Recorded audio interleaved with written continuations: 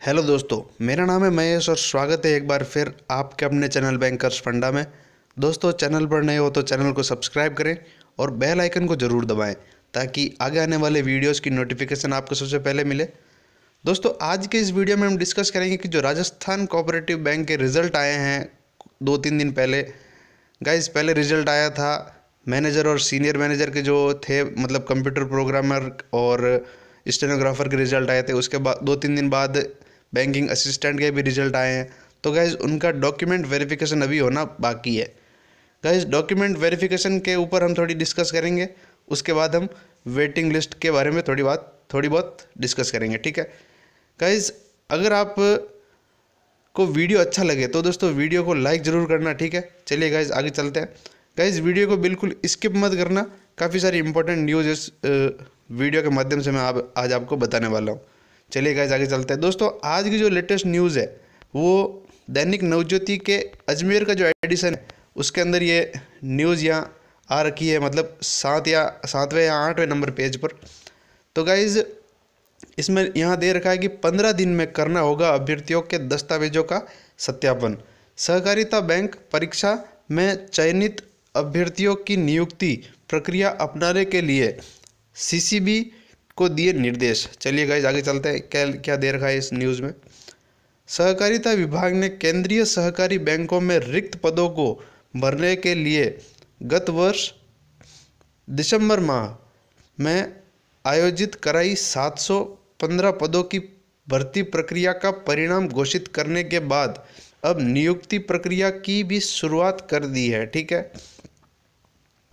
Guys यहाँ दे रखा है कि विभाग ने अजमेर सेंट्रल कोऑपरेटिव बैंक के प्रबंधन को चयनितों की सूची भेजकर पंद्रह दिन में अभ्यर्थियों के दस्तावेजों का सत्यापन कर नियुक्तियाँ देने के निर्देश दिए गए हैं। ठीक है दोस्तों, पंद्रह दिन में दस्तावेज़ सत्यापन करने की जो निर्देश दिए गए हैं, सत्यापन के दौरान अभ्यर्थियों को मूल दस्तावेजों में शैक्षणिक योग्यता मतलब कि दोस्तों आपको दसवीं की मार्कशीट, बारहवीं की मार्कशीट और जो आपका कंप्यूटर सर्टिफिकेट है और डिग्री दोस्तों इसके अंदर, ग्रेजुएशन की जो भी आपने कर रखी है बीए बीकॉम बीएससी ठीक है?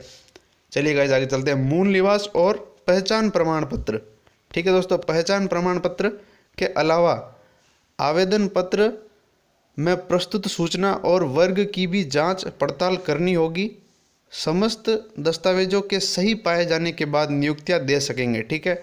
उल्लेखनीय है कि विभाग ने इन पदों में से बैंकिंग सहायक पाँच सौ बयासी, ठीक है, वरिष्ठ प्रबंधक के छः, प्रबंधक के 114 और कंप्यूटर प्रोग्रामर के 10 तथा स्टेनोग्राफर के तीन पदों पर अजमेर के गैगल सेंटर में ऑनलाइन परीक्षा कराई थी। एसीसीबी में विभिन्न संवर्ग के 30 पदों को नियुक्तियाँ दी जाएगी। इनमें पाँच प्रबंधक, एक कंप्यूटर प्रोग्रामर और 24 बैंकिंग सहायक के पद शामिल है। तो गाइज़ ये हो गई डॉक्यूमेंट वेरिफिकेशन की बात की दोस्तों पंद्रह दिन के अंदर अंदर जो डॉक्यूमेंट वेरिफिकेशन है वो होने के चांस है, ठीक है? और गाइज़ अगर हम वेटिंग लिस्ट की बात करें तो गाइज़ वेटिंग लिस्ट के काफ़ी सारे कमेंट मुझे मिले थे नेक्स्ट वीडियो में, जो मैंने जो लेटेस्ट वीडियो डाला था उसके अंदर। तो वेटिंग लिस्ट की काफ़ी सारे उसमें कमेंट आ रखे थे कि वेटिंग लिस्ट कब आएगी, ठीक है? तो गाइज़ वेटिंग लिस्ट ज़रूर आएगी। आपको इसकी अपडेट मैं वीडियो के माध्यम से ही देने वाला हूँ। तो गाइज़ चैनल को ज़रूर सब्सक्राइब करें। और अगर आप दोस्तों टेलीग्राम चैनल पर नहीं जुड़े हुए हैं, दोस्तों टेलीग्राम चैनल पर ज़रूर जुड़ें। वहाँ काफ़ी सारी न्यूज़ अपडेट होती रहती है। जो न्यूज़पेपर है daily newspaper the Hindu the Indian Express Dainik Jagran से रिलेटेड वहाँ न्यूज़पेपर अपलोड अपलोड होते रहते हैं। तो गाइज़ चैनल पर ज़रूर जुड़िए टेलीग्राम चैनल को ज़रूर सब्सक्राइब कीजिए। काफ़ी हेल्पफुल चैनल है, ठीक है? और गाइज़ आज महाशिवरात्रि है। आप सभी को महाशिवरात्रि की हार्दिक शुभकामनाएँ, ठीक है? और एक न्यूज़ और। कल S B clerk prelims exam है फ़र्स्ट शिफ्ट से, ठीक है? तो गाइज़ उसके लिए आप सभी को ऑल द बेस्ट और आपके आगे आने वाले एग्ज़ाम्स के लिए all the best have a nice day bye दोस्तों।